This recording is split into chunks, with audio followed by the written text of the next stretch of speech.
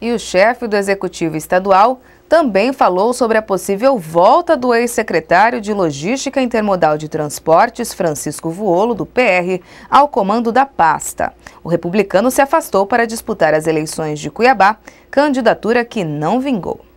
Eu disse a ele também que se ele quisesse voltar, até pelos trabalhos que ele vinha desenvolvendo dentro da secretaria, não tem problema nenhum.